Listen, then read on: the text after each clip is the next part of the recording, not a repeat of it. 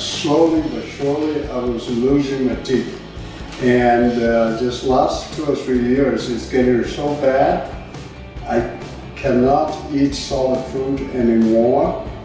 So it gets to the point I have to make a decision.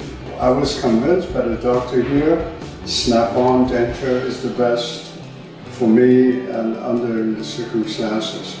So I went with it. Seems to be working fine. It's state of the art, modern, clean, safe, very functioning, and uh, very pleasant. All staff, including doctors, are very, they're all very engaging and very pleasant, uh, welcoming, and uh, this competent, and they seem to have answered to all the questions that I have. I'm quite satisfied. Thank you.